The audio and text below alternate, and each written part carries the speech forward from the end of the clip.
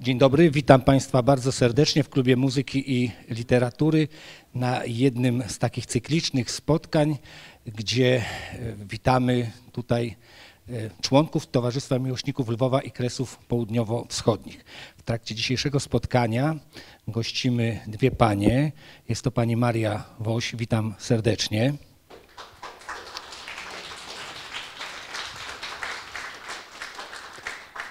Powiem krótko, człowiek honoru, to jest raz. Dwa, autorka książki Leopolka i o tej książce będzie nam dzisiaj opowiadać, a spotkanie poprowadzi Ania Fastnak-Stupnicka. Dzień dobry Aniu. Powiem też krótko, autorka książki Zostali w Lwowie. Proszę Państwa, jeśli mogę, e, na taką małą, krótką refleksję. W czasie moich licznych wojaży po Kresach, a Lwów nie uważałem i nie uważam za Kresy, to pierwszą wizytę, tak się akurat złożyło, że w 1986 roku e, złożyłem e, wraz z żoną, to była taka pierwsza wyprawa właśnie w Lwowie. I Lwów mnie oczarował i zachwycił bo czym innym jest czytać, obcować z literaturą, czym innym jest słuchać czy oglądać filmy, a czym innym jest być tam i dotykać tego ducha lwowskiego, tej całej takiej materii, bo kiedy trafiliśmy na cmentarz Łyczakowski, wtedy cmentarz Orlon był zrujnowany, tam były zakłady kamieniarskie, ten cmentarz po prostu nie istniał. Natomiast tej pozostałej części, bo to tam trafiliśmy na, to jest, była jedyna kwatera żołnierzy powstania listopadowego, tak zwana żelazna kompania. Tam można było e, założyć kwaterę e, powstańców styczniowych, tak zwaną górkę powstańców styczniowych. I teraz rodzi się pytanie, jak to jest, bo spotykam się stosunkowo często, bym powiedział, z taką opinią, że za Franciszka Józefa, że za Habsburgów było tak dobrze w tym zaborze austriackim. No więc ja się za każdym razem obruszam na takie opinie, bo zawsze jest coś takiego, co jest przyczyną, przebiegiem i skutkiem. Trzeba się zastanowić, jaka była przyczyna tej liberalizacji polityki Habsburgów Wiednia w stosunku do Polaków, w stosunku do Galicji. Ona wynikała tylko i wyłącznie, tylko i wyłącznie ze słabości państwa austriackiego po przegranej w 1866 roku z Prusami, które to Prusy dążyły do zintegrowania państw, królestw e, niemieckich pod swoim przewodnictwem. Tu ta konkretna wojna miała doprowadzić do tego, że Prusy przejmują pierwszeństwo nad tak zwanym Związkiem e, Pruskim. Swoją pozycję umacniały na wskutek przegranej Austrii doszło do powstania państwa dualistycznego i w ramach tych zmian Galicja mogła uzyskać autonomię. I ja potem sobie uświadomiłem też po paru latach, że właśnie Galicja była najprawdziwszą stolicą kulturalną Polski. Była takim centrum, centrum nawet nie Kraków, a właśnie Lwów było, tą centrum, było tym centrum kultury, ja już nie mówię o stronie naukowej, ale tam mogli trafić z pozesłań, y, zesłańcy, y, tak jak na przykład Dybowski, właśnie do Lwowa. Tam mogli znaleźć schronienie, tam znajdowali pracę, tam czuli się swojsko. I tak jak mówiłem o tych cmentarzach, ja już będę kończył, tak jak mówiłem o tych cmentarzach, to o tych kwaterach, bo tam są też żołnierze Tadeusza Kościuszki, tam znajdziemy też żołnierzy Księstwa Warszawskiego. Proszę Państwa, to, to był, uważam, fenomen i dobrze, że tak się akurat ułożyło, ale z drugiej strony pamiętajmy, że mówi się o tak zwanej nędzy galicyjskiej. Ona też się nie wnieciła e, znikąd. O tym też musimy e, pamiętać. W każdym razie Lwów był bezsprzecznie w drugiej połowie do I wojny światowej stolicą taką kulturalną i duchową e, Polski.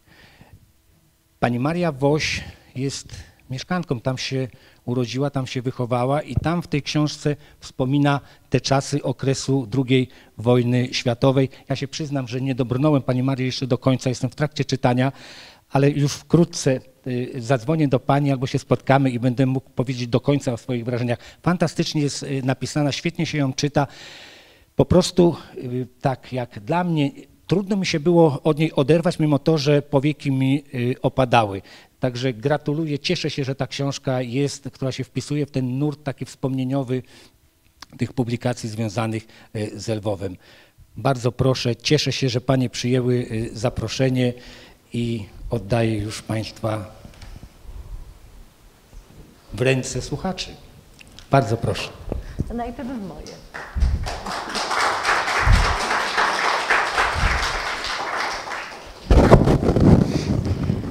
Urodziłam się w Lwowie i to jest jeden z najistotniejszych faktów w moim życiu. Gdybym się urodziła gdzie indziej, byłabym zupełnie kim innym. Tak się przedstawia pani Maria Woś w książce Leopolka z podtytułem A ja się z Lwowa nie ruszę za próg. I mam wrażenie, że e, pani Maria Woś nigdy się nie ruszyła za ten próg z Lwowa, w każdym razie sercem i duszą jest ciągle tam. E, parę, parę słów, choć wszyscy Państwo znają panią Marię Woś, nie tylko jako autorkę tej książki, ale innych, przede wszystkim autorkę cotygodniowych felietonów radiowych, ale dopowiem. Skończyła polonistykę na Uniwersytecie Wrocławskim. Od 1958 roku pracuje w Polskim Radiu Wrocław. Mówię pracuje, bo choć od dawna jest na emeryturze, to ciągle jest aktywna i te felietony Y, co, y, tych felietonów co tydzień mm, możemy słuchać. Y, gdy miała 12 lat, dziewczątko takie z warkoczami chyba, była zmuszona opuścić Lwów. Dwunastoletnia dziewczyna to nie wiadomo dużo czy mało, ale w moim odczuciu wystarczająco, żeby Lwów pokochać miłością ogromną, miłością y, wierną i niesłabnącą do dziś. Y, ta książka mm, jest wyrazem tej miłości do rodzinnego miasta, ale zarazem jest oddaniem hołdu tym wszystkim ludziom, którzy w tym wczesnym okresie życia y, Marię kształtowali, którzy mieli wpływ na jej rozwój i intelektualny, i, i duchowy. To niezupełnie jest książka wspomnieniowa, aczkolwiek są tutaj y, zawarte wspomnienia bardzo bogate, bardzo, bardzo liczne dotyczące Lwowa, ale jak to bardzo ładnie określił pan Przemysław Dakowicz, jest to meandryczna narracja i tą meandryczną narracją autorka prowadzi nas takimi powiedziałabym zakolami czasu i przestrzeni przez lata wojny, przez lata powojenne już tutaj we Wrocławiu i właściwie do czasów nam współczesnych, do czasów nam, nam obecnych. Jest to w moim odczuciu książka bezcenna dla historyków, dla, dla każdego, kto choć odrobinę zna i, i kocha Lwów ale jest to bezcenna rzecz również dla historyków, ponieważ jest tutaj cytowanych bardzo wiele listów, pamiętników, wspomnień, nigdy nie publikowanych. Poza tym, co też mi ogromnie zaimponowało i niezwykle mi się podobało w tej książce, autorka się rozprawia z współczesną historiografią, z różnymi autorami, którzy popełniają błędy albo jakieś nieścisłości, więc wytyka tutaj bardzo, bardzo wielu autorom. Y, no i tak jak powiedział pan dyrektor, jest napisana pięknym językiem, y, czyta się y, z takim uzniośleniem, powiedziałabym, i z wielką, z wielką radością i przyjemnością. Ja bym chciała poprosić autorkę, żeby nas poprowadziła takie miejsca najbliższe e, w Lwowie, najbliższe jej i ku ludziom, którzy też w jej życiu wtedy zaistnieli i okazali się niezwykle ważni. Ale tu znowu sobie pozwolę malutki fragmencik przeczytać, bo proponuję ulica Dominikańska. Sześć zabytkowych kamienic po jednej stronie, sześć po drugiej. Uliczka malownicza, stroma, od góry jakby zamknięta. Nie, nie zamknięta, zwieńczona. Zwieńczona placem dominikańskim z kościołem, a od, ko od kościoła schodząca w dół ku rynkowi. To moje gniazdko i mój kosmos. Idę nią przez całe życie. Kilka scen zatrzymało się tu na zawsze. Czy mogę Cię prosić o te sceny, które się tam zatrzymały na zawsze? A czy ja mogę siedzieć? Ja też będę siedziała. Ciekawa jestem przede wszystkim, czy Państwo, czy myślę, że tu są jakieś osoby, które znają Lwów, znają ulicę Dominikańską. Pierwsza scena e, ulicy Dominikańskiej w moim życiu, taka, taka właśnie, która stoi mi przez całe życie przed, pod oczyma. Mianowicie moja mama została poproszona o niesienie chorągwi na Boże Ciało. Ja to oczywiście, ja to było w ogóle nadużycie, dlatego że, yy, dlatego, że chorągwie noszą panny, ale taka jakaś panna młoda złamała nogę w ostatniej chwili i nie było już zastępstwa i poproszono moją mamę, żeby niosła chorągiew. No była oczywiście młodą kobietą, no i nadawała się do niesienia chorągwi. Więc ja bardzo chciałam zobaczyć, jak to będzie wyglądało. Ja mieszkałam na drugim piętrze, ale na pierwszym piętrze było mieszkanie właścicielki kamienicy, która się nazywała pani Kurnachowa i to mieszkanie to było najbardziej reprezentacyjne i tam z tego mieszkania, w tym mieszkaniu jest balkon. To jest jedyny balkon w tej kamienicy. Więc pani Kurnachowa obiecała, że mogę, zaprosiła mnie na ten balkon i powiedziała, że mogę patrzeć, tylko ani mru, mru cichutko. Ale jak ja zobaczyłam, jak moja mama idzie, taka śliczna i niesie, idzie w błękitnej sukience i niesie biało-błękitną chorągiew, to wrzasnęłam, mama, mama. A pani Kurnachowa wtedy przyskoczyła do mnie, zamknęła mi usta, no i skończyło się przedstawienie. Zabrała mnie do pokoju, nakrzyczała na mnie strasznie, powiedziała, zrobiłaś mi wstyd. Ja mówię, jaki wstyd? No więc ona mi wytłumaczyła, na czym polegał ten wstyd. No więc poszłam się wypłakać w fartuszek babci i tyle było przedstawienia. Ale to jest właśnie scena cudowna, którą całe życie widzę. Czy w sierpniu 1939 roku widziałaś krzyż na niebie? Hania, czego ty mordujesz puenty? Nie, nie, nie morduję. Nie chciałaś mordować? Nie, nie chciałam. Na pewno nie chciałam. Ale przeczytam fragment i ty zamordujesz, dobrze? Wybiegły obie, zostawiając mnie samą, oniemiałą ze zdumienia, zanim zdołałam. O, przepraszam, to nie jest to. Wcześniej, nie, wcześniej, wcześniej troszkę wcześniej. Nie, mi się zgubiło. Troszeczkę wcześniej. Nie, dobrze, dobrze. E, wróciły strasznie przejęte, miałam pięć i pół roku. Wróciły strasznie przejęte i prawie nie zwracając na mnie uwagi, rozważały dalej to, co widziały. I co to może oznaczać? Ognisty krzyż na niebie. W najbliższym czasie jeszcze wiele razy była o tym mowa, kiedy jednak po latach wracało czasem do mnie wspomnienie tamtej chwili, byłam skłonna ówczesną wizję mamy i babci przypisywać raczej niezwykłemu stanowi ich porażonej strachem wyobraźni, rozpalonej już wówczas odgłosami nadchodzącej wojny.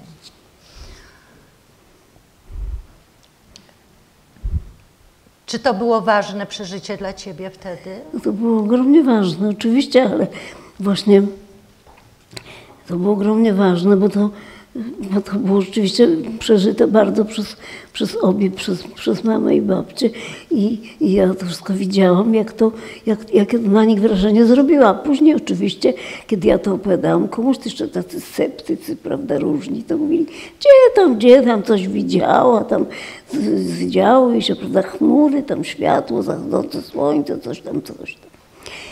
I proszę sobie wyobrazić, w roku 2015, e, a ja czytałam wtedy co tydzień, co tydzień e, w sobotnim numerze Gazety Polskiej Przemysław Dakowicz, znakomity poeta i krytyk, literaturoznawca mm, i pisarz, drukował taką, książ taką, takim, taką książkę dokumentalną Afazja Polska. I, I ja, to ponieważ to świetnie jest napisane, więc ja zaczynałam czytać od razu, kiedy no, odbierałam od kioskarza gazetę, natomiast otwierałam i idąc czytałam. I w 2015 roku właśnie wychodziła ta afazja to tydzień. Ja kupiłam Y, kolejny numer, idę, czytam i Dakowicz pisze. Dakowicz cytuje pamiętnik, y, cytuje wspomnienia 18-letniego Janusza Pieczkowskiego z Sokala, a z Sokala pochodzą dziadkowie Dakowicza, dziadek i pradziadek. I Dakowicz pisze. Nagle na wschodniej stronie nieba zauważyłem wyraźnie znak płonącego krzyża. Zwabiona naszym wołaniem wyszła do ogrodu matka. Widzieliśmy, że państwo Borusiewiczowie z synami również obserwowali to złowróżne zjawisko. I ja wtedy zapragnęłam natychmiast zadzwonić do autora i krzyczeć, że panie Przemku, panie Przemku, moja mama i babcia też widziały to zjawisko. I on potem dalej pisze. Kilkadziesiąt kilometrów na południe od Sokala w Lwowie. Ludzie przystają na Korzo, na ulicach i placach przed operą i przed kolumną Mickiewicza i wskazują palcami na grojący krzyż, widoczny między skrzydłami anioła poezji, podającego Mickiewiczowi lirę. Na dalekiej północy, w mieście młodości autora dziadów, kobiety w chustkach na głowach wychodzą z nabożeństwa w kaplicy ostrobramskiej. Jest wśród nich babcia mojej żony, pisze Dakowicz, Jadwiga Wasilewska i także spoglądają w niebo. Powoli zmierzcha, ale krzyż wciąż świeci nad Zbarażem, Czortkowem i Tarnopolem, nad Stanisławowym i Zaleszczykami, nad Zbarażem, nad Krzemieńcem i nad Równem. Goreje ten znak wojny i zniszczenia, ta sygnatura płaczu i cierpienia ponad głowami mieszkańców Nowogródka i Nieświeża. Ej, Szyszek i Oszmiany, pali się nad Wołkowyskiem i Drohiczynem, nad Gdańskiem, Helem i Tucholą, nad Warszawą i Krakowem. Zapytam o inne obrazy, które kojarzą Ci się z ulicą Dominikańską. Więc właśnie tutaj słusznie zapytałaś w kolejności właściwej, bo tu jest właśnie wybuch wojny, a potem a jeszcze oczywiście bombardowanie, bo przecież na ulicy Dominikańskiej mieszkałam, tam była piwnica. To, było, to były zabytkowe kamienice, one miały piękne lochy, no ale te lochy, w tych lochach się przechowywało węgiel i kartofle, prawda? No a tu nagle bombardowanie, więc schron. Więc w schronie potworne sceny, mianowicie ludzie, którzy właśnie do tej pory, moi znajomi, sąsiedzi, którzy byli dla siebie bardzo mili zawsze, prawda, w kamienicy, nagle zaczęły się między sobą strasznie kłócić i krzyczeć do siebie, popychać się. O lepsze miejsce w schronie, więc to takie przeżycie niesamowite. No i oczywiście bombardowanie, z tym, że ja sobie wyobrażałam, że to, się, że to jest ten sposób, ponieważ to był taki dźwięk podobny do dźwięku w każdym razie ja to tak odbierałam, jakby takie wielkie kubły na śmieci rozbijały się nad, nad naszą głową, nad tymi dachami, spadały na dachy. No i sobie wyobrażałam, że jak taki kubeł się rozbije, roz, rozwali kamienicę, no i wpadną jego odłamki, no bo już znałam słowo odłamki, po prostu pojawiały się coraz to nowe słowa, prawda, które, słowa, które wiązały się z wojną. No więc schron na ulicy Dominikańskiej. To jest 1939 rok. Potem przychodzą Sowieci. No oczywiście zaskoczenie straszne, no bo przecież bombardowali Niemcy, a przychodzą Sowieci. No więc ktoś powiedział właśnie, ale nam wbili nóż w plecy. No i potem widzę, idzie kiedyś, idzie oddział wojska sowieckiego. Przez ulicę Dominikańską omija kościół Dominikanów z prawej strony, idzie dalej. No i widzę to wojsko w tych długich szynelach nieobrębionych i potworny smród za nimi idzie właśnie. Więc to było to wojsko sowieckie i karabiny na sznurkach. To, taki, to też taka wizja właśnie na ulicy Róg Dominikańskiej i kościoła i, na, i tak właśnie i kościół Dominikanów. Potem to już mamy 40 rok. A potem przychodzą Niemcy, ale zanim przychodzą Niemcy, to oczywiście słucham tych szeptów przerażających właśnie o tym, że Ukraińcy już się szykują na Polaków, że Niemcy im dadzą wolną Ukrainę, no i że Ukraińcy, że zanim do Lwowa wkroczą Niemcy, to Ukraińcy nas wyrżną. Więc też słyszę bardzo wyraźnie w schronie właśnie to określenie. Ukraińcy nas wyrżną. No i jest oblężenie i potem któregoś ranka budzimy się, jest straszliwa cisza. Straszliwa cisza. No starsi spośród Państwa tutaj mm, może pamiętają, może wiedzą, jak wygląda cisza, jak brzmi cisza po oblężeniu. To jest taka cisza niepodobna do żadnej innej. To niektórzy z Państwa to wiedzą pewnie. Więc cisza po oblężeniu. Niemcy są już w Lwowie. Więc z mamą i babcią idziemy ulicą Dominikańską do rynku, żeby zobaczyć. Idziemy właśnie w dół tej ulicy i słyszymy w tej straszliwej ciszy klaskanie kopyt końskich. Wchodzimy do rynku, a na koniach jadą oficerowie niemieccy w pięknie odprasowanych mundurach i w przeraźliwie białych rękawiczkach. No więc straszliwe oczywiście przerażenie. Te rękawiczki były naprawdę nie mniej przerażające niż te, niż te oberwane y, szynele Sowietów.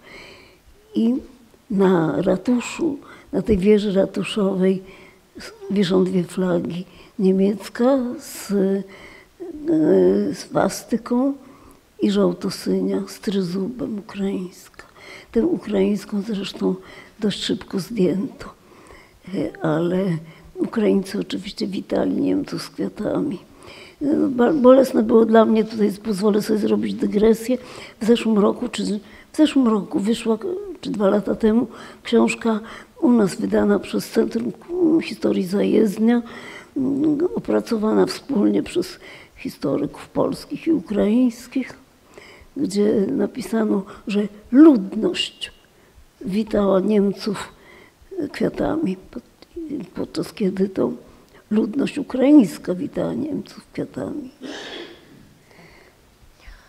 Przejdziemy do kościoła dominikanów.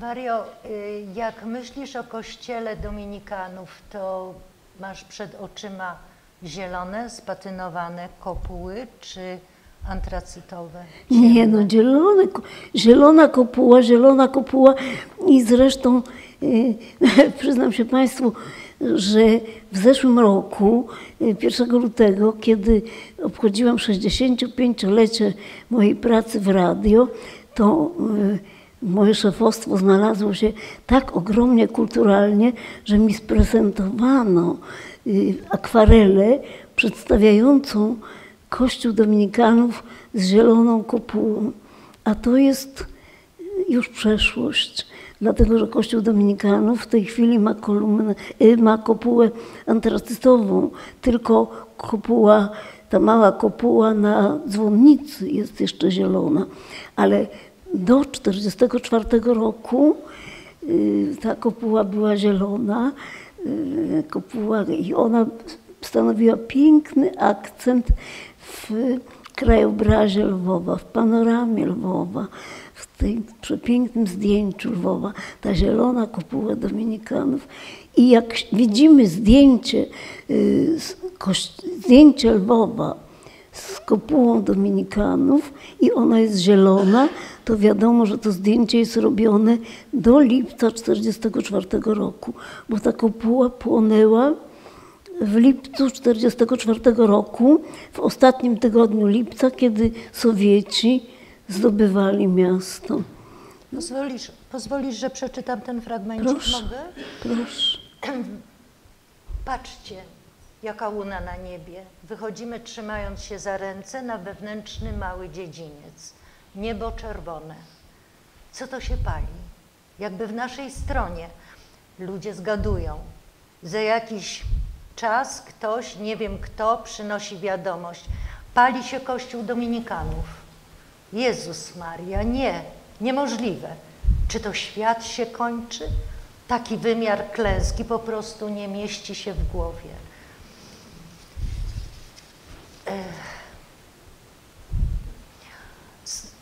Schodzimy ze skarpy i nagle odsłania się nam widok na kopułę dominikanów. O Boże, czarna. Wybuchamy płaczem.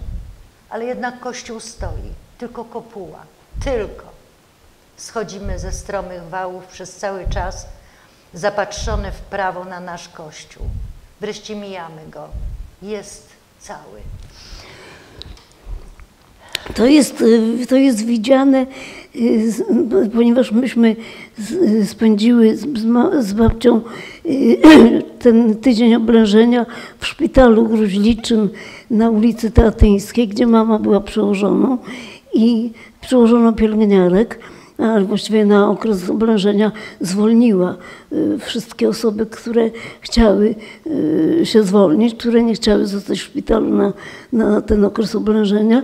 I mama właściwie była jedną z kilku osób, które w ogóle wtedy zostały w tym szpitalu. No i no, ale przyszła z nami i była spokojna, że my jesteśmy, bo szpitali się nie bombarduje. Ale oczywiście ostrzeliwano ten szpital właśnie i to było niesłychanie dramatyczne, ponieważ przez szerokość ulicy z z Pałacu Arcybiskupiego, mieszczącego się na, właśnie na placu arcybiskupim, strzelano do y, szpitala gruźliczego na Teatyńskiej, gdzie zabarykadowali się Niemcy, więc to było po prostu coś, coś morderczego. No i no, ale to wiadomo, prawda, Ruscy bombardują. No i Teraz co było z tą kopułą. Więc y, na przykład y, historycy Lwowa y, nie wiedzieli, bo są dwie koncepcje, kto to właściwie strzelał, dlaczego ta kopuła się paliła. I proszę sobie wyobrazić, że dopiero dowiedziałam się tego dzięki ojcu Markowi Miławickiemu, historykowi dominikańskiemu, który mi udostępnił... To z Wrocławia. Proszę, z Wrocławia, tak. To znaczy on też pomieszkuje w Krakowie, tak, tak. ale jest u nas u Dominikanów tutaj we Wrocławiu, ojciec Marek Miławicki i on mi udostępnił część archiwów dominikańskich, tych interesujących mnie. I to się okazało, że y, w pamiętniku brata Wilhelma, naszego organisty, y, właśnie znajduje się opis całej tej historii, jak to było. Mianowicie, mianowicie Sowiet strzelał do tej, do, do tej, ponieważ tam najpierw ktoś strzelił i y, jakiś taki uskok był i to wyglądało jakby ktoś stał i strzelał i wobec tego Sowiet jakiś zobaczył, y, że coś takiego i strzelił do tego. No i, no i z tego zrobił się pożar. Ojcowie i bracia sami zaczęli gasić. Ludzie jeszcze też pośpieszyli na pomoc. Straż pożarna nie, dlatego, no bo to już, sobie, to, to, to już nie.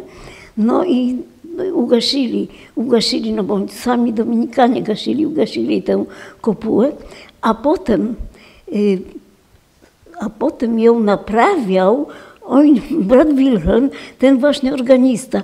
Myśmy na tym szalenie ubolewali, dlatego że brat Wilhelm był artystą i, i, i bardzo dobrze grał, a tymczasem nadaniał sobie palce przy naprawianiu tej kopuły. No ale no, takie powołanie, prawda? No więc on naprawił tę kopułę, ale dzięki temu, że y, że Sowieci zażyczyli sobie, żeby sami Dominikanie naprawili tę kopułę przed opuszczeniem Lwowa, kiedy już zmuszali Dominikanów do wyjazdu. Dzięki temu jeszcze Dominikanie zarobili kilka miesięcy pobytu właśnie w Lwowie, dzięki temu, że remontowali, że brat Wilhelm remontował kopułę.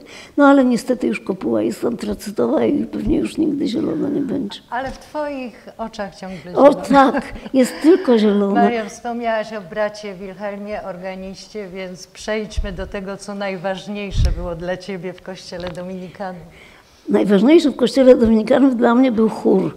Otóż ja miałam szczęście, że w roku 1942, czyli podczas niemieckiej okupacji, powstał chór u Dominikanów. Mianowicie parę dziewczynek tam zaczęło śpiewać, jak brat Wilhelm grał jakieś pieśni na organach, one zaczęły śpiewać, no, potem do niego tam podeszły, no i tak się zaczęło i powstał chór. To był, I można było do tego chóru wstąpić.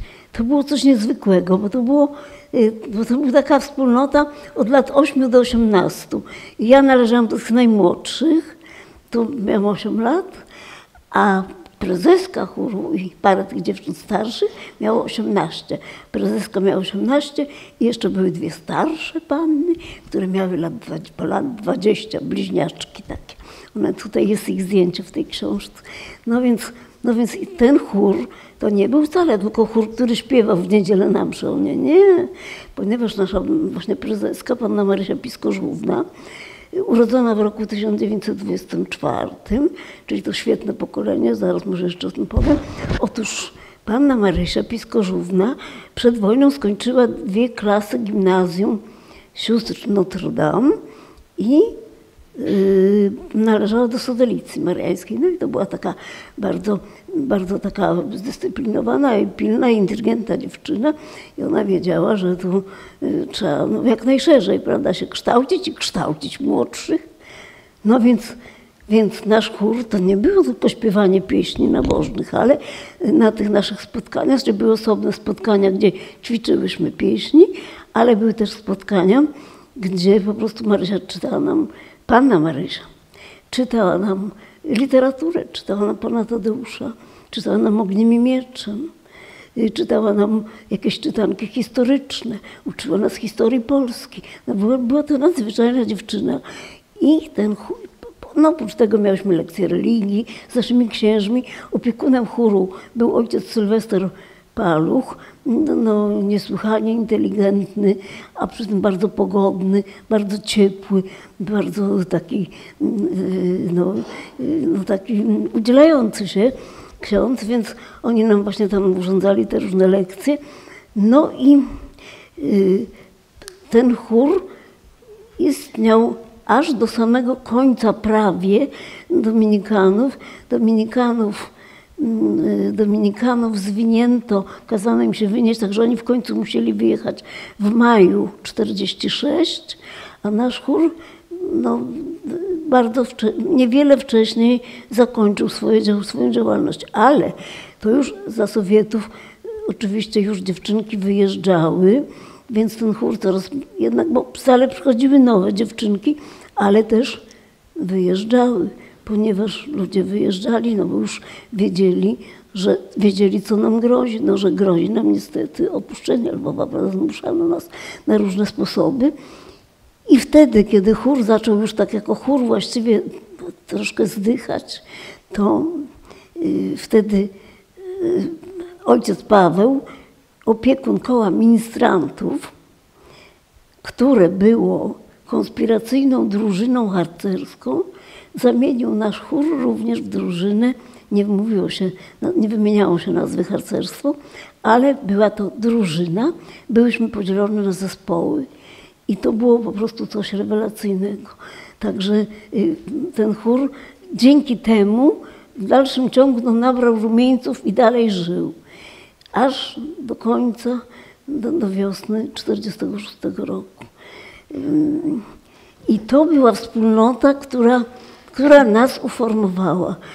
I ta książka jest o tym, yy, w jaki sposób ten chór nas formował, także potem, kiedy człowiek wyjechał na zachód, yy, kiedy chodziło się do liceum już wtedy, kiedy potem zabierali religię ze szkół, kiedy yy, na studiach no, był oczywiście marksizm i kiedy popełniały się już nawet czasem błędy, prawda? I to, to była taka latarnia, która świeciła i, i która pozwoliła no, wrócić. I, Do- i, Przepraszam. Dobrze, dobrze. I o tym jest ta książka. Y, Dopowiem. Tak się zaczęła w moim życiu epoka fundamentalna. Gdyby nie chór, byłabym kimś innym. Pi- Pisałam już tak o Lwowie, a teraz to samo powtarzam o chórze. Y, Może ja, że pozwól, tylko powiem, ale- ja tylko po- pozwól, że ja powiem, Tak. bo, to była, bo to była pierwsza w życiu wspólnota. Wspólnota oparta na świetnych zasadach. I to jest coś takiego, co przetrwało. I czy ja mogę teraz powiedzieć o tym dalej? Tak, y, ale może jeszcze zostańmy przy Dominikanach, bo chciałam, y, żebyś powiedziała mm, y, o działalności ojców y, Dominikanów, tak. o czym wy, smarkate chórzystki, nie wiedziałyście, bo nie mogłyście wiedzieć, a o czym dowiedziałaś się dopiero po latach. Tak, a o Ale czym o wiedziałyśmy, nich, o prawda? nich należy Tak. też powiedzieć. Tak, tak. O tak, Bo oczywiście. dużo, dużo jest o tym w książce. I właśnie o tym chciałam napisać, dlatego że y, y, y, tutaj, dlatego że w 2018 roku moja koleżanka radiowa, młodsza oczywiście, bo wszyscy są w tej chwili młodsi ode mnie, więc y, moja koleżanka y, sobie umyśliła, że ona mnie zabierze y, y, do Lwowa i, ona jeździła do Lwowa z, takim, z, takim, z takimi zespołami ludowymi. Wrócę do tego, ja, y, więc z Przegląd takim, zespołów Proszę? Przegląd zespołów przegląd zespołów, nie, to się nazywało Dni Kultury Dolnego Ślą- do Śląska na ziemi lwowskiej. No, więc niby tu takie różne zespoły z Dolnego Śląska, mm, artystyczne, jechały tam, się produkowały, y, tam koncerty w Lwowie i zawsze w jakiejś miejscowości. Pod Lwowem, więc akurat w tym wypadku w 2018 roku, jak myśmy pojechały, to było, był wyjazd też do Żółkwi, więc ona sobie umyśliła, że to będzie taki ciekawy reportaż, jak, jak ja pokażę, gdzie, prawda, gdzie ja się urodziłam, a gdzie ja chodziłam do szkoły, yy, a gdzie ja się bawiłam i tym podobne moje boje. A ja jej oczywiście to pokazałam, ale to nie odchodzi, bo ja jej chciałam właśnie powiedzieć, co się w Lwowie w tym czasie działo. I czego ja się dowiedziałam, znaczy o czym częściowo wiedziałam wtedy jako ta, członkini chóru, ale o czym potem dowiedziałam się jako osoba dorosła, bo chciałam się dowiedzieć, bo chciałam wiedzieć, gdzie ja byłam, z kim ja byłam i co się wtedy naprawdę w Lwowie działo, prawda? Więc ja to wszystko powiedziałam tej pani do mikrofonu, ale, ona, ale jej się to nie zmieściło do reportażu. I ten reportaż taki wyszedł, że, że a tutaj, a, tu, a tutaj to, a tutaj szmo właśnie, a tutaj, a tutaj, prawda, a tutaj przecieka dach, a tu jest ganek, a tu takie rzeczy. No, no więc bardzo mi było tego szkoda. To no, a w tej powiedz- książce powiedz to jest. teraz to, co A, jej mówiłaś. Tak, no i Państwo mnie rozumieją, bo Państwo są, bo Państwo są z Lwowa, prawda, i tak dalej, i dookoła. Otóż, y, co się działo? No więc y, na przykład w Lwowie był znakomity ojciec Andzer Miezierski, który był przeorem, bo ojciec Sylwester był proboszczem, a ojciec Andzer Miezierski był przeorem. To był wyjątkowy mówca. To był nadzwyczajny mówca, niezmiernie utalentowany. Miał piękny głos, był bardzo inteligentny, umiał wspaniale mówić i był kapelanem AK. Miał pseudonim Leomar. Leopolis i Maria. Więc, ale ponieważ on mówił wspaniałe kazania, więc przywódcy AK, a ponieważ on był kapelanem, przychodzili do niego i mówili mu na przykład, co by chcieli, żeby on przekazał społeczeństwu. I on w sposób zakamuflowany, bardzo inteligentny, mówił. Mówił w ten sposób porozumiewał się. I na jego kazania, na tę mszę jego schodził się, jak się to mówi, cały Lwów. I, no, oto są, I są różne świadectwa. Są, czytam na przykład takie wspomnienie jakiegoś profesora uniwersytetu, jest tutaj, cytuję to z internetu. Poza tym na przykład Krystyna Moszumańska-Nazar, kompozytorka y, współczesna, też przychodziła na te, z dalekiej części miasta, przychodziła jako młoda dziewczyna właśnie na te kazania i ona o tym też mówi w swoich wspomnieniach. Więc po prostu są różne świadectwa ludzi, którzy mówią, czym były kazania ojca Sylwestra. Na przykład w naszym pamiętniku chórowym, myśmy prowadziły pamiętnik chórowy, ponieważ panna Marysia to zarządziła i ona wyznaczała, kto, która z nas e, kiedy pisze e, o naszych wydarzeniach. No więc dzięki temu były cztery, cztery zeszyty pamiętnika. Niestety, e, potem powiem, one niestety musiały być zniszczone, został tylko jeden. No ale jest przynajmniej jeden, no i tutaj go cytuję właśnie. Więc, więc na przykład ojciec y, Anselm wymyślił jakieś nabożeństwo specjalne, to znaczy to ja tak myślę, że on to wymyślił. Dlatego, bo w naszym pamiętniku wyczytałam, y, że y, na której z naszych koleżanek pisze, że było tak, takie nabożeństwa nowe, święcenie Kaliny. Święcenie Kaliny. No i że właśnie ludzie się schodzą, no i ojciec Andel mówi kazania, święci Kalinę, ludzie zabierają tę Kalinę i tak dalej. I ojciec Anselm w tym naszym pamiętniku poprawił tę Kalinę na Jarzębinę i się podpisał na dole strony. Poprawił o Anselm. Pomyślałam sobie, jeżeli on to poprawił, to była jedyna poprawka w tym naszym pamiętniku. To znaczy, że to miało jakieś znaczenie. Ale przecież nie dlatego, przecież to nie było ważne merytorycznie, czy to była Kalina, czy Jarzębina, ale jeżeli ojciec Andrzej to poprawiał, to znaczy, że on nad tym czuwał i on ale dlaczego on to wymyślił? To na pewno przecież nie chodziło, żeby w czasie okupacji dodatkowe święto wprowadzić, żeby Kalinę czy Jarzębinę święcić, tylko widocznie taki pretekst, żeby ludzi dodatkowo gromadzić, prawda, właśnie w tym okresie i, i, i, i mówić do nich. No więc to było zupełnie nadzwyczajne. No więc to był ojciec Anselm. Ojciec Paweł y, Kielar, urodzony w roku 1912, y, Y, był opiekunem koła ministrantów. I on tylko, ponieważ on był zapalonym harcerzem, przedtem, zanim wstąpił do zakonu i y, w gimnazjum, ale potem, kiedy wstąpił do zakonu, musiał się wypisać z harcerstwa, ale później, kiedy przyszła wojna, on przeszedł szybko jakiś kurs harcerski i, za, i tę drużynę, y, te, ten chór, nie, przepraszam, Y, koło ministrantów zamienił w konspiracyjną drużynę harcerską i uczył ich właśnie różnych, uczył ich mustry, uczył ich sprawności. No nie wiem, czego jeszcze ich uczył. W każdym razie, w każdym razie byli doskonali. To, świadectwo tego też na przykład jest w książce y, y, Adama Wodzińskiego, Rotenberga,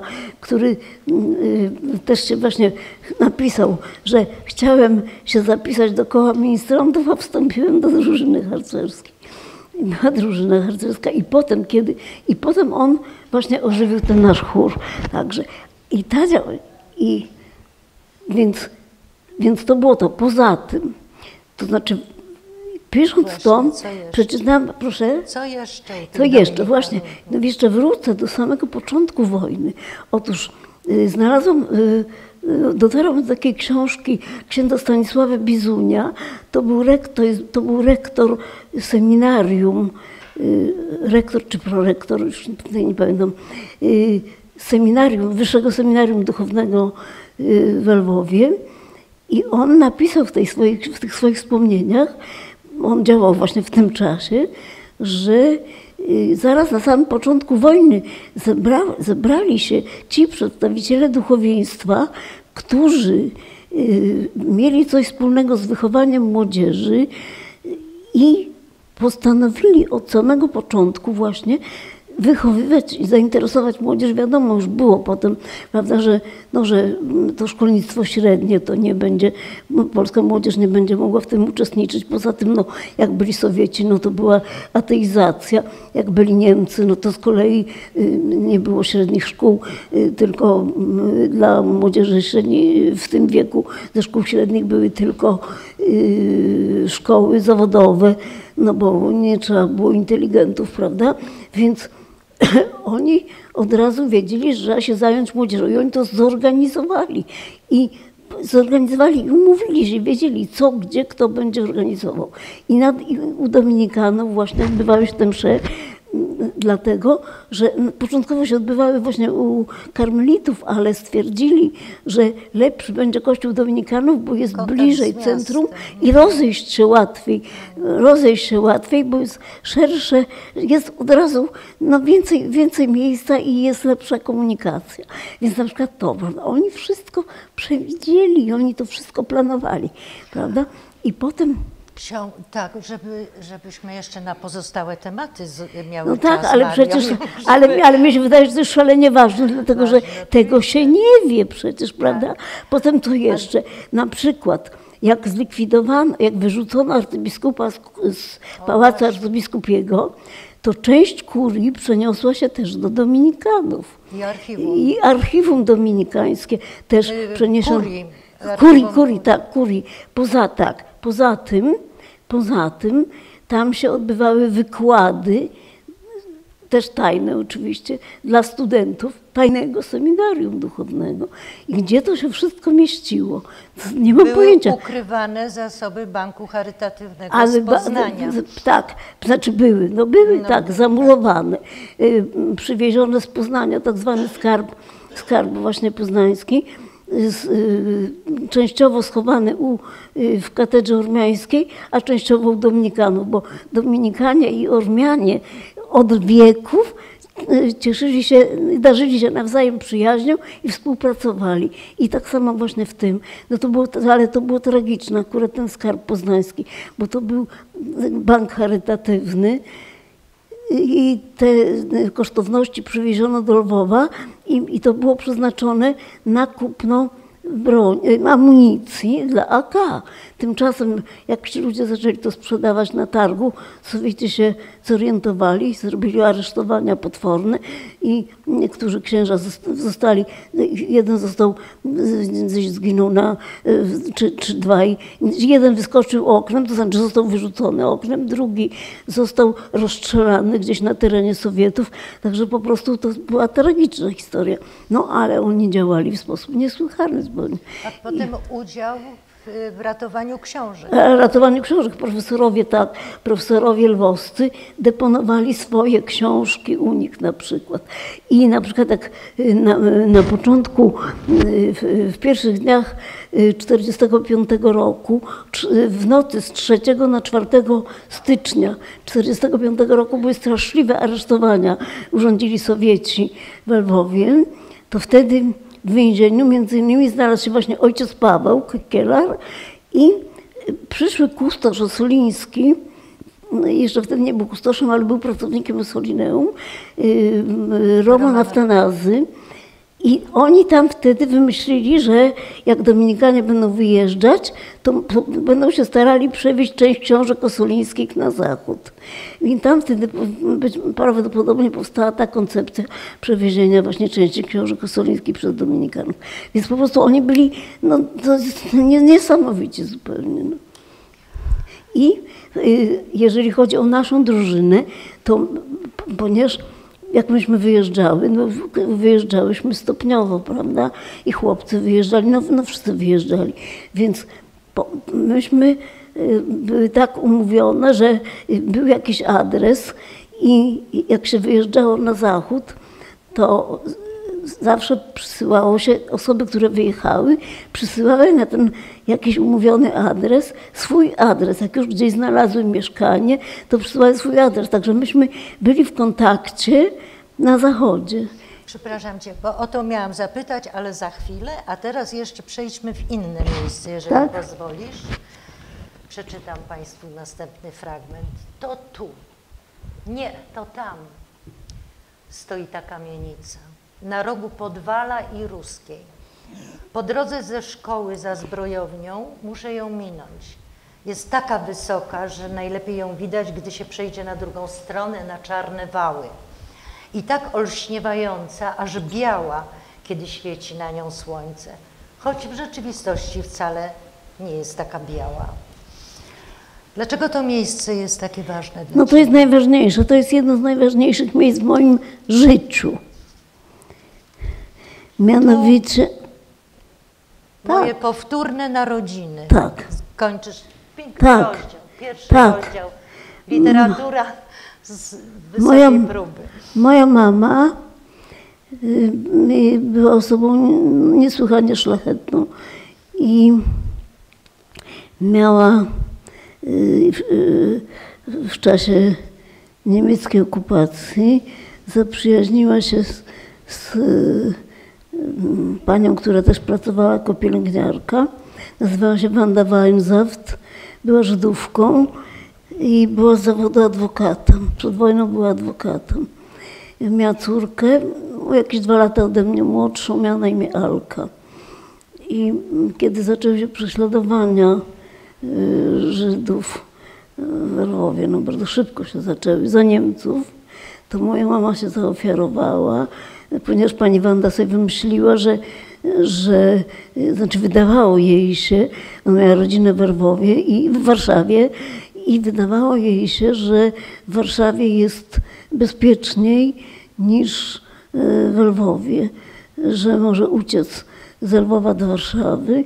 No i wtedy moja mama sama jej zaproponowała, że zawiezie jej córkę, żeby nie jechały razem, no że w ten sposób, no, jeżeli coś się stanie, no to może przynajmniej dziecko się uratuje, prawda? I mama postanowiła zawieźć Alkę do Warszawy z moją metryką przy sobie, czyli na, na moich papierach. No i, yy, no i pojechałam. Miała jechać na trzy dni. Yy, Ja byłam wtedy w pierwszej klasie. Mama miała jechać na trzy dni. No i tylko zawieźć Alkę do Warszawy. Ktoś miał ją tam odebrać na dworcu i mama natychmiast następnym pociągiem miała wracać do Lwowa, no ale nie, nie wraca, nie wraca, nie wraca, nie wraca. Trzy dni, tydzień, dwa tygodnie, trzy tygodnie. Mamy nie ma. No, no myśmy się zaczęły już modlić za duszę mamy. Jeszcze moja babcia za sprawą cioci, która miała też problem, bo poszukiwała swego męża, który gdzieś zaginął. I, i jakaś tam pani, jej koleżanka wynalazła grafologa, który, jak ona twierdziła, odgaduje również los. No i namówiła babcię i razem poszły do grafologa, żeby ten grafolog powiedział, co z moją mamą. No i ten grafolog powiedział, że ta osoba od trzech tygodni nie żyje. No i, no i, no i tak myślałam. Myślałyśmy. I któregoś dnia, wracając do szkoły, no,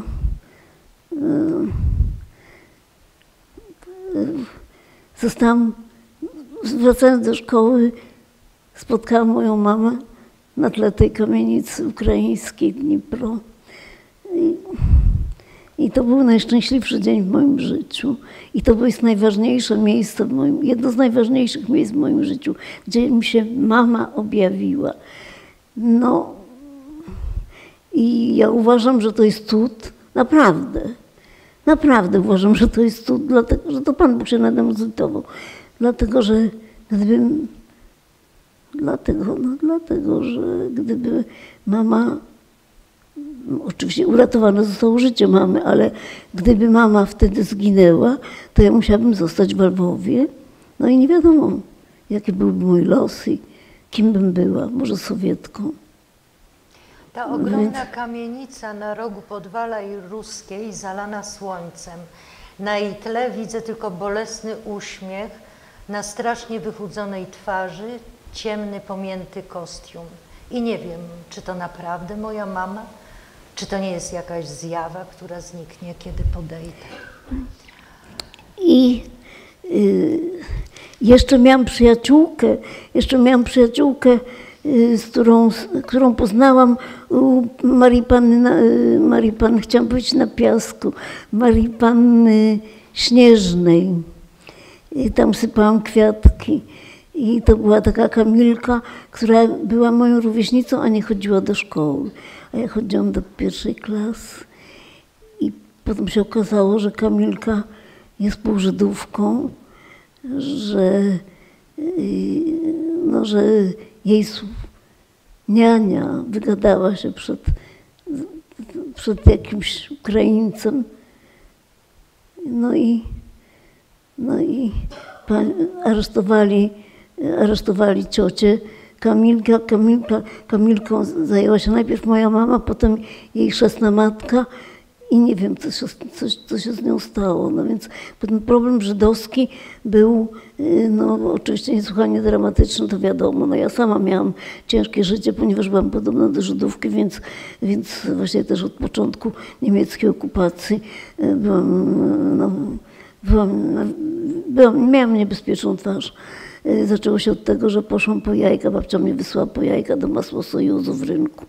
No więc poszłam, Ukrainka mówi, co ty chcesz? No poproszę dwa jajka. Dla Żydów nie maję. No, Ja nie jestem Żydówka, to per Chrystysia. No więc przeżegnałam się. Y, Dała mi dwa jajka, ja w płacz do domu. No i mama powiedziała, że no, do szkoły tylko chodziłam, ale tak poza tym nie pozwalała mi mama nigdzie chodzić właśnie dlatego, że, no, że byłam podobna do Żydówki, więc ja wiedziałam, co to jest. No to takie przygody. Ale chcę powiedzieć właśnie o, o harcerstwie, że y, kiedy tutaj przyjechałyśmy na zachód, to, byliśmy, to myśmy byli w kontakcie y, z, właśnie z naszymi no, koleżankami harcerkami, tymi lwowskimi i, y, i a tam się zaliczałam do tych młodszych, ale tutaj y, Podrosłaś trochę. po- troszkę podrosłam i panna Marysia mi uczyniła zaszczyt i napisała mi, y, że mnie zaprasza na rekolekcję do, do, y, na, na Górnym Śląsku, tak, y, y, Branicy, jest taka miejscowość, się. Y, I tam się, tam to, to było przed, przed Wielkanocą, była taka, y, była, y, były takie rekolekcje przed Wielkanocą, ale to było to harcerstwo bo one się spotykały na zachodzie, jeździły na biwaki z ojcem Pawłem. I proszę sobie wyobrazić, moja mama wtedy powiedziała, że mnie nie puści. Ja się czułam szalenie dumna, że panna Marysia mnie dopuściła do tych tajemnic tych starszych dziewczynek, ale mama mnie nie puściła. Powiedziała, e, chciałabym cię odwieźć, ale, ale ponieważ nie mogłabym, miała dyżur w szpitalu, więc powiedziała, że no nie, nie, nie, nie mogę cię, samej cię nie puszczę. No i co się okazało, że one zostały tam aresztowane, ponieważ y, wśród, bo to była już męska i żeńska, y, bo to i ci chłopcy też y, tam byli w kontakcie, oczywiście z ojcem Pawłem jeszcze bardziej niż te dziewczyny. No i proszę sobie wyobrazić, że oni tam zajechali i natychmiast jeden z nich odjechał. To był taki pan, ja nie wiem, może on już nie żyje, to był pan o znanym nazwisku we Wrocławiu. To był dyrektor jednego z przedsiębiorstw. On był posądzany właśnie przez nich, że to on ich wydał, bo on był w tym kole ministrantów. On przyjechał tam i natychmiast wyjechał. I przyjechało po nich UB i ich aresztowało. Ich aresztowało. Proszę, i on, Wtyki mieli wszędzie. proszę, Wtyki mieli wszędzie. no właśnie, no i, no i, i oni zostali aresztowani i te moje koleżanki zostały aresztowane. One tutaj są, to są ich zdjęcia i, i one zostały aresztowane. Ym, panna Marysia, która miała od początku problemy ze zdrowiem, ona była, miała problemy żołądkowe, więc ona została dość szybko zwolniona, ale miała nadzór domowy. Ale to cud, że jej nie wyrzucili ze studiów. Ona wtedy studiowała polonistykę na UJ-cie, y, ale ponieważ tam byli wspaniali profesorowie, więc oni jej zaliczali zajęcia, mimo że, że jej nie było. Także ona tam się też przesiedziała, a potem właśnie miała ten dozór domowy. Natomiast inne dziewczyny siedziały w więzieniu. I proszę sobie wyobrazić, że ja potem się tutaj natknęłam właśnie y, na, znaczy poszukałam y, dowodów z tego śledztwa, znaczy z tych, z tych procesów. To był proces, no one zostały, no, y, miały wyroki. I i proszę sobie wyobrazić, i to takie prace były jeden, jedna taka niezła praca napisana, tylko, tylko on napisał, że, że potem y, na zachodzie to już to były między nami tylko stosunki towarzyskie.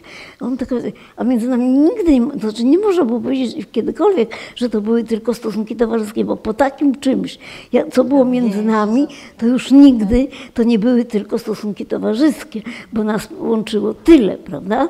Ale Y, inny. To był zupełnie taki w ogóle, taki w ogóle y, prawdopodobnie praca doktorska. Proszę sobie wyobrazić, on pisze tak. Należy wykluczyć, że były dwie drużyny, męska i żeńska, a młodzież zbierała się w kościele, y, żeby konspirować pod pretekstem uczenia się pieśni, pieśni religijnych. No, pochodzę sobie nie mógł wyobrazić, że, że, że młodzież, że, no, że ludzie się poza tym modlili, prawda?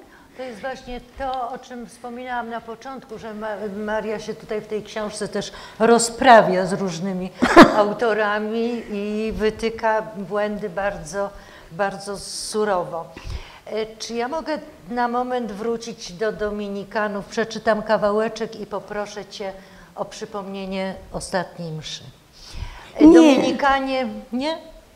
Dominikanie podobno od lata 1945 roku liczą się z tym, że będą musieli opuścić klasztor i zamknąć kościół. To jest coś, co nie mieści się w głowie i o czym właściwie nie mówimy. Ciągle jeszcze żywi, żywimy nadzieję, wbrew nadziei, że stanie się jakiś cud. Ale cudami słynący bizantyjski obraz Matki Boskiej Zwycięskiej w głównym ołtarzu milczy, a rokokowi święci wydają się drżeć na wielkim wietrze, który rozwiewa ich ciemno-złote szaty. I my ich tu zostawimy? Komu? Tym barbarzyńcom? I te największe we Lwowie organy? I ten klasyczny profil Grodgera na pomniku pod chórem? Yy, krzyknęłaś nie, jak poprosiłam o przypomnienie ostatniej mszy? Czy to... Ja, znaczy, może ktoś ja nie wiem, czy też e, zna to przynajmniej z opowiadań? Bo... No nie wiem, czy ja myślę, że ktoś, ja myślę, że ktoś z Państwa musiał przeżyć coś podobnego, bo jak zamykano kościoły, to, no to wiadomo było, że kiedy to będzie i kiedy będzie ostatnia msza. I znaczy ja o tyle nie chciałabym o tym już mówić, bo ja to kilka razy opowiadałam i, i po prostu ja już, to jest, to jest tak jak śmierć matki. To jest, to jest coś zupełnie szczególnego, kiedy czas upływający, kiedy zna się porządek mszy i wie się, że nieuchronnie, kiedy msza się skończy, kiedy ksiądz zaśpiewa ite misa est i organista będzie musiał odpowiedzieć deo gratias, to, to no, jak to wyjść? Kiedy wiadomo, że jest to ostatnia msza i po niej Kościół zostanie zamknięty. Nie, na, nie do jutra, tylko na zawsze. I, no i ja miałam, No ja przeżyłam taką mszę u dominikanów właśnie. Kiedy msza się skończyła, ksiądz odszedł, nikt się nie ruszył z miejsca. I ksiądz wyszedł, potem wrócił już rozebrany z szat i prosił, żeby ludzie wychodzili. I nikt się nie, nie mógł odważyć, zdecydować, wstać, wyjść.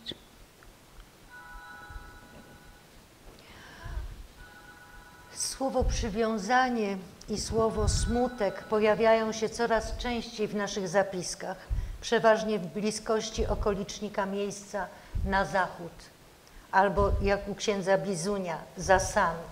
Broń Boże do Polski.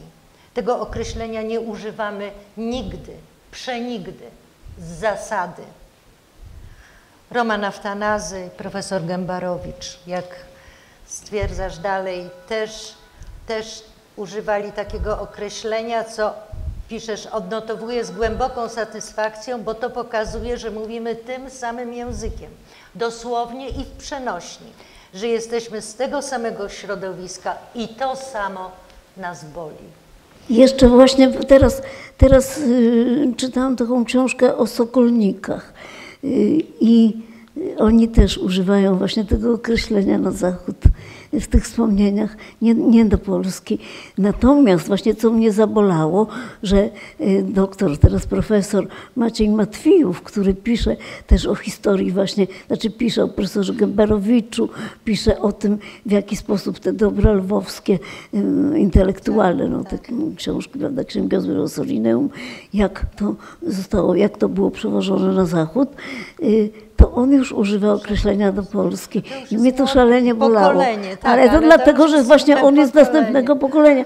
On się już urodził po wojnie, przypuszczalnie tu, na pewno tu. I, o, I dla niego. I on po prostu pisze do Polski, w Polsce. Tak. A dla nas Lwów jest Polsce. No, Tak, tak jak Znaczy, mi mówiono, Lwów jest mi, polski, no. Mi powiedziano w Lwowie, to nie my zostawiliśmy Polskę, to Polska Tak, od nas tak, odeszła. Tak. To Polska nas zostawiła, tak. Ja na przykład w 81 roku, przepraszam, jeśli mogę taką Tak, dygresję. Y, W 81 roku przyjechał z Lwowa chór, albo w 80, przy- nie pamiętam, przyjechał chór Echo z Lwowa i y, śpiewał y, w kościele świętego Michała i miał spotkanie w Instytucie Historii Uniwersytetu Naszewskiej. I ja byłam na tym spotkaniu z radia. No i ponieważ no, ja dumna jestem ze swego pochodzenia lwowskiego, więc, y, y, więc w stosownym momen- jak- momencie, który wydawał mi się stosowny, podeszłam do tych pań, chórzystek y, z chóru Echo i powiedziałam, że ja jestem z Lwowa. A ta pani spojrzała na mnie zimno i odsunęła się właściwie ode mnie i powiedziała, zdradziliście nas. Gdybyście wy nie wyjechali, to może nasz los był lżejszy, a myśmy zostali i, i, i jakże ciężkie ponieśliśmy tego konsekwencje. No to Hanka wie najlepiej, bo Hanka napisała wspaniałą książkę Zostali we Lwowie i przebadała losy tych właśnie rodzin, które zostały we Lwowie. To Hanka tutaj jest ekspertką najlepszą. Przy tobie nie ma ekspertów, Mario. Jak was przyjęto na Zachodzie? O, to, to Państwo to znają na pewno, jak nas przyjęto. Y, No, y, więc tak, jak myśmy jechały, y, to ponieważ znajomi, to wiadomo, prawda, że ludzie odjeżdżali, to ci, którzy odjechali, dawali sygnały tym, którzy jeszcze zostali, jakieś wskazówki. Więc, y, więc moje, znajomi mojej mamy, zna- znajomi, znajoma rodzina lekarzy, państwo y, da- Daumowie, y, rodzina takiego słynnego ginekologa y, lwowskiego, który zresztą przyjmował na świat Jacka Łukasiewicza, naszego y, nieświętej pamięci y, kolegę z polonistyki, y, y, poetę. Więc profesorostwo w Daumowie wylądowali w, Kaka, w Krakowie w takich e, blokach PUR-u, czyli Państwowego Urzędu Repatriacyjnego.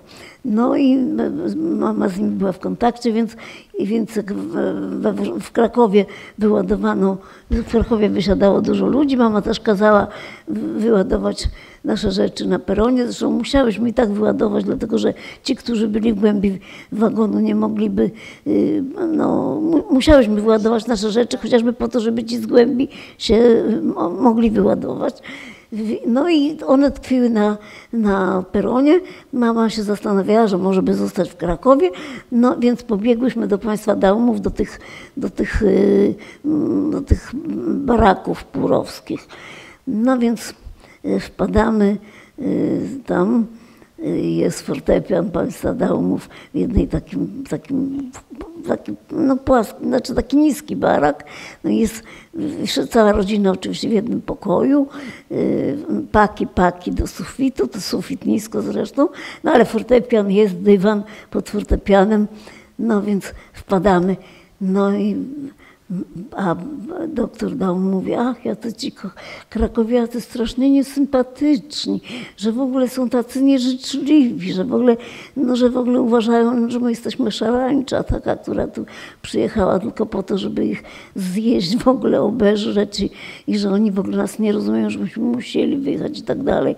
A mama mówi, Ojej, panie doktorze, a ja kazałam wyładować rzeczy na peronie. On mówi, co pani zrobiła? Już natychmiast na dworzec. I jeżeli pociąg jeszcze stoi, to natychmiast się ładować do pociągu i z powrotem. Nie, nie z powrotem, tylko jechać wszystko jedno gdzie, byle gdzie. Wszędzie będzie lepiej niż w Krakowie. No więc my rzeczywiście biegiem e, z powrotem. Mama mówi, dziękuję panie doktorze, Maryna, chodź, idziemy.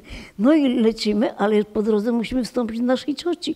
Nasza ciocia kochana, która niedawno wróciła z Ravensbrück no więc, a nie widziałyśmy jej jeszcze od powrotu, więc ja mieszkała w Krakowie na Świętego Krzyża, więc postanowiłyśmy jednak wbiec przynajmniej no, zobaczyć ciocię. No więc wpadamy na Świętego Krzyża, lecimy na to pierwsze piętro, dzwonimy, nikt. Dzwonimy, wreszcie no, nikt, nikt, więc mama puka do sąsiednich drzwi, wychodzi starsza pani w, w takiej wełnianej chuście na ramionach. No, mama pyta, ciocia, nie, nie słyszałam, nie, nie mieszka, nie, to jakaś pomyłka. No mama mówi, no jak to, przecież korespondujemy, no przecież, no nie, nic podobnego. No więc co mamy robić? Schodzimy. Schodzimy na dół, a nasza ciocia wchodzi akurat do kamienicy, bo biegała po papierosy, bo ciocia nie mogła żyć bez papierosów. Więc całe szczęście spotkałyśmy ciocię. Mówimy, no popatrz, ta pani, no ciocia mówi tak, no to jest właśnie Kraków. Ja od wielu osób słyszałam właśnie o tym braku życzliwości i takich przykrych doświadczeniach czy wrażeniach. E, to ja wyczytałam to zresztą u, u Witolda Szolgini w książce, też, w tych jego tak. książkach wspomnieniowych. On tam opisuje też, że przyjechał rano do Krakowa, prosto, znaczy nie prosto z Lwowa, ale zaraz krótko po przyjeździe z Lwowa po, po, chciał się zapisać na Politechnikę, na architekturę. No więc, ale przyjechał bardzo wcześnie i jeszcze było za wcześnie zamknięty był rektorat, więc poszedł na planty, siedział na plantach, przyszła jakaś paniusia z pieskiem No i zaczęła karmić tego pieska mięskiem, a on był potwornie głodny. No więc, no, ale jakaś rozmowa się wiązała, no i on powiada, że, i on powiada, że on z Lwowa, a ta paniusia na niego, tak, to przez was mięsa nie ma. Właśnie wy, bo tu wyście nam wszystko tu wyjedli. Tak. Ale Kraków z Lwowem się nigdy nie, lubiły się te miasta i wcześniej to była rywalizacja na różnych polach. Mario, chciałam zapytać, e, we Wrocławiu wysiadłyście dlatego, że pociąg dalej nie jechał? Tak, tak, tak, tak, Czy, tak, czy tak, Nie, nie, nam było wszystko jedno, ponieważ nie, ponieważ w, w Krakowie nie. Mama chciała do Gdańska, bo nasza Matka Boska Zwycięska z Kościoła Dominikanów. Mhm. W Gdańsku. Więc mama powiedziała, że najchętniej pojechałaby do Gdańska. Skoro już musimy wyjeżdżać z Lwowa, to najchętniej do Gdańska.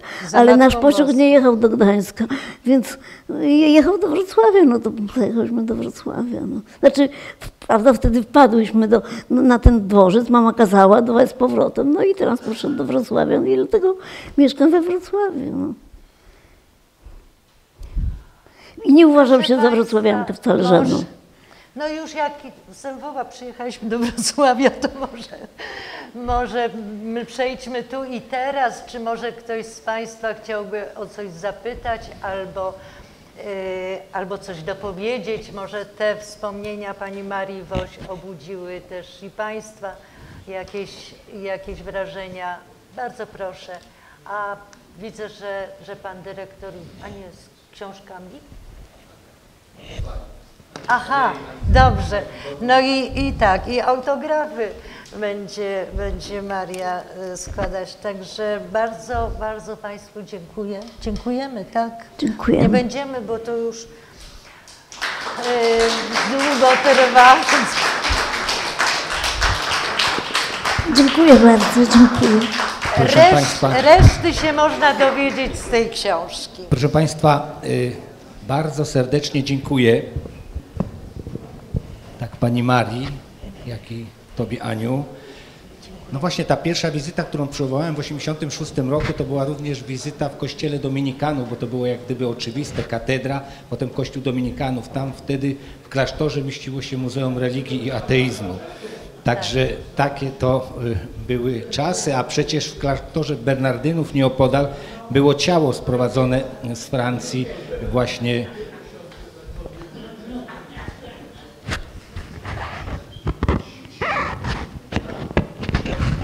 właśnie Artura y, Grodgera. Tak to wyglądało. Proszę Państwa, i pamiętam, jak interesowałem się y, Wrocławiem, kiedy przyjechałem w wieku 15 lat do Wrocławia i gdzieś cały czas ten wątek kresowy się pojawiał. Cały czas mówiło się, że Lwów jest, y, Wrocław jest taki lwowski. I się dowiadywałem różnych ciekawych rzeczy. Między innymi było takie wrażenie, że tych lwowiaków jest mnóstwo prawda? A skąd to się brało? No brało to się stąd, że gazownia cała przyjechała właśnie z Lwowa tutaj. No i gazownicy jak chodzili, inkasenci i odczytywali te liczniki, no to mówili bałakiem.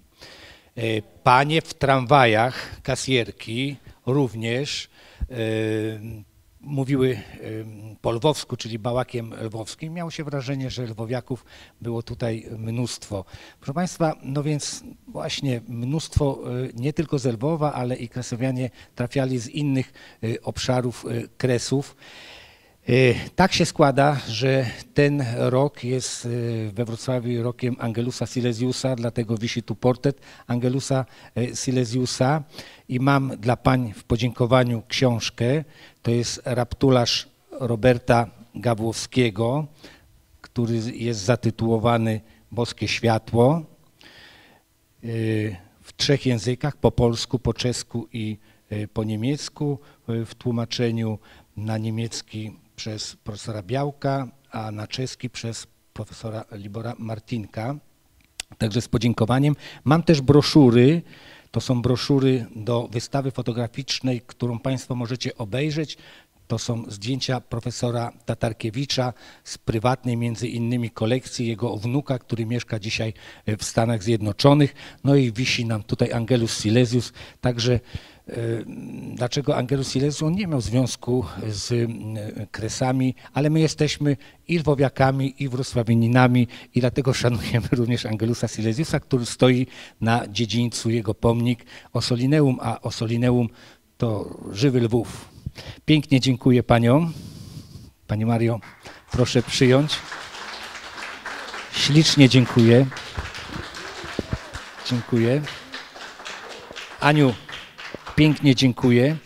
Dziękujemy bardzo za uwagę, dziękujemy Leopolce przede wszystkim za tę wspaniałą książkę, za piękną opowieść, za utrwalenie tego, co najważniejsze. Dziękuję bardzo. Dziękuję bardzo. Dziękuję bardzo. Dziękuję, pań, dziękuję Państwu bardzo. Dziękuję.